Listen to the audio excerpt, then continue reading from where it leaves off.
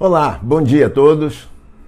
É, eu estou aqui hoje por uma missão muito especial. Para vocês todos que me conhecem, eu nessa época de Natal eu, eu gosto muito de oferecer de volta tudo isso, tudo que eu recebi de vocês durante esse período todo, onde nós convivemos, onde nós aprendemos juntos.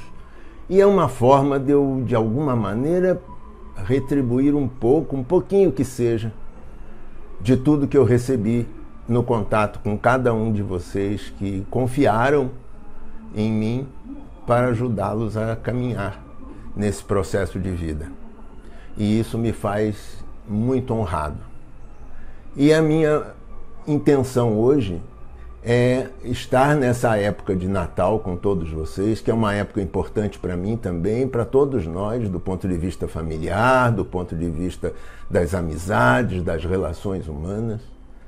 E vir aqui pessoalmente, dentro da possibilidade que o processo atual de 2020 permite, agradecer a vocês, mesmo que remotamente por tudo que foi possível receber, por tudo que foi possível oferecer para vocês e por tudo que pôde me engrandecer nesse período todo. E isso faz muita diferença nos meus 71 anos de hoje. Essa é a estação de trabalho da qual tudo saiu. Né? Ou seja, todas as palestras, todos os estudos, todos os atendimentos, tudo que aconteceu nesse período, nesses últimos nove, dez meses, saiu daqui. E eu estou aqui sentado perante isso, honrando a possibilidade que isso me trouxe, né? a possibilidade das lives, a possibilidade dos contatos, das reuniões virtuais, para, é, de alguma forma, saber que vocês saibam de tudo que passa dentro do meu coração. E do tudo, de tudo que eu sou grato e o quanto que eu gostaria de estar de corpo presente para oferecer aquele abraço que tanto me falta no contato com vocês. Mas é isso que temos hoje.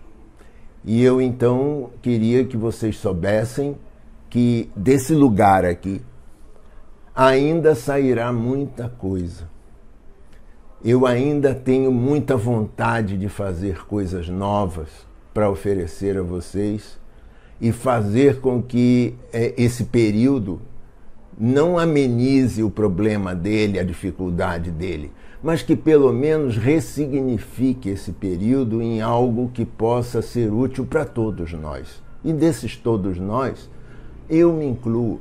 Eu incluo todas as minhas amizades, as pessoas que me ajudam nesse processo todo, que me acompanham desde muito tempo atrás e que me ajudaram a chegar até onde eu, eu cheguei.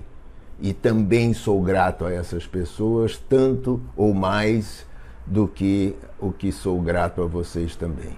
Além de ser grato à vida, a Deus e a todas as maneiras que nós é, conseguimos dentro da nossa pequenez humana, de referenciar o maior que existe em nós, sem que a gente precise necessariamente começar a colocar nomes e necessidades. Então, pessoal, eu queria terminar desejando um belo período de Natal, um belo período de festas para vocês, que vocês possam estar numa situação privilegiada em relação a outras pessoas que talvez não, não tenham tido a mesma sorte que nós de continuarmos saudáveis, que vocês possam estar fazendo é, muito por, por manter essa saúde, porque isso também tem uma parte que é responsabilidade nossa, e que vocês possam começar a mentalizar, a materializar um 2021 maravilhoso que vocês possam de alguma forma começá-lo com com os dois pés direitos, digamos assim, né? E que é, esse ano de 2021 seja, na verdade, a consolidação de todos os nossos aprendizados, de todas as nossas dificuldades nesse ano de 2020 de todas as nossas inconsistências, de todas as nossas tristezas, de todos os nossos embates, que tudo isso possa se transformar em bem-aventurança, porque esse é o caminho que todos nós precisamos. Um bom Natal para vocês, um bom Ano Novo.